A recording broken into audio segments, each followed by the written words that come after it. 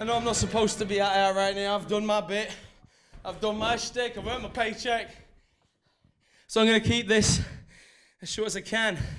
This is supposed to be the greatest moment of my career. Gene Munny, let me repeat that. Gene Munny is competing for the biggest prize in British wrestling.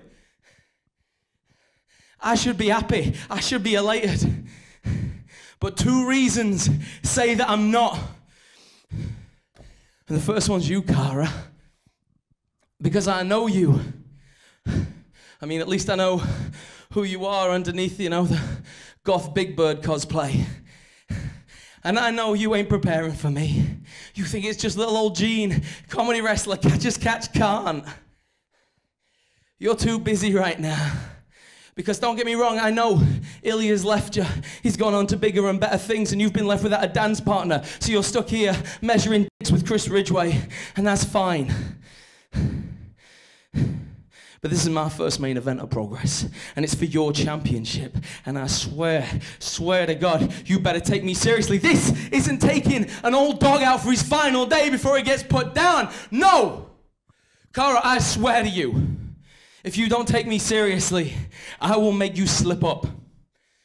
If you underestimate me, I'll make you stumble. And if you give me a second to catch my breath, I ain't gonna repay the favor. Because you think of me just an entertainer, just someone here for the crowds, and you're right. The crowds. Because that's reason two. Because where are you? See, I owe everything, literally everything, to the crowds. If it wasn't for them tweeting Gene for MPS 6, Progress wouldn't have even noticed me. It's due to them I can stand in this ring. The very next night, Alexandra Palace, I came out and you people almost burst my bloody eardrum. Best reception I've had in my life, that was because of you. And then when Progress had no intention of booking Gene Munny, you waved your flags. You printed your t-shirts. You tweeted Gene for Super Strong Style 16. And that sigh turned into a roar. And spoiler alert, for a universe that didn't happen, I got in. That was thanks to you. I owe everything to you people. And this is the greatest opportunity of my career of progress. And where are you?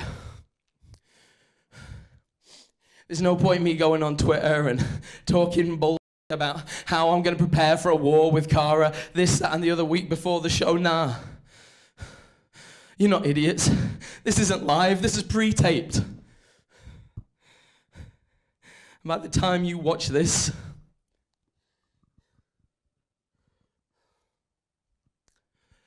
by the time you watch this, I'll already know if I let you down.